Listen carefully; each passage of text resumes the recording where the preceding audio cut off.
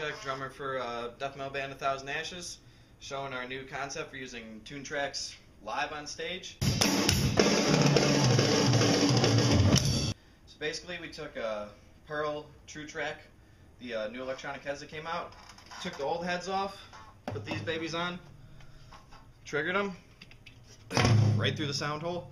Everything's running out into the Alesis head, going in to Toontracks. So now everything that's going through the PA is